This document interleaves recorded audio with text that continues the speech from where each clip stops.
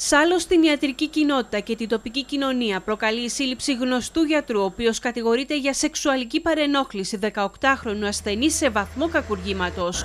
Η είδηση έπεσε σαν κεραυνός, καθώς λίγη ώρα μετά την καταγγελία που έκανε νεαρός φοιτητής στην ασφάλεια, ο 50χρονο ακτινολόγος συνελήφθη.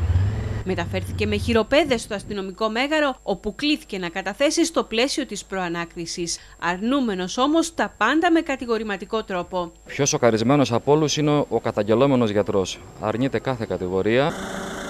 Νωρίτερα, ο 18χρονος φοιτητής είχε περιγράψει στους αστυνομικούς ότι βρέθηκε στο ιατρείο για να υποβληθεί σε υπέρηχο και να εξεταστεί για κυρσοκύλη στην περιγενετική περιοχή.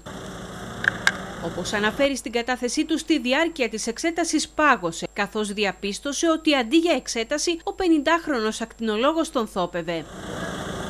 Λίγη ώρα αργότερα πέρασε το κατόφλι της ασφάλειας όπου έκανε την καταγγελία.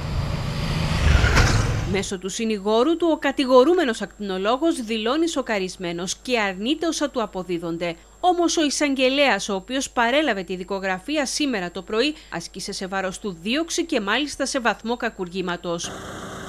Για κατάχρηση ανίκανου προς αντίσταση σε γενετήσια προσβολή, αλλά και προσβολή γενετήσιας αξιοπρέπειας. Ο 50χρονος ακτινολόγος με έντονη κοινωνική παρουσία και δραστηριότητα ζήτησε προθεσμία από τον ανακριτή για να προετοιμάσει την απολογία του, η οποία ορίστηκε για την Παρασκευή και επέστρεψε στα κρατητήρια όπου θα παραμείνει. Έχει πάρει προθεσμία για να απολογηθεί.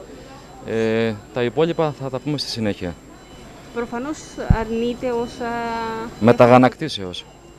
Μεταγανακτήσεως.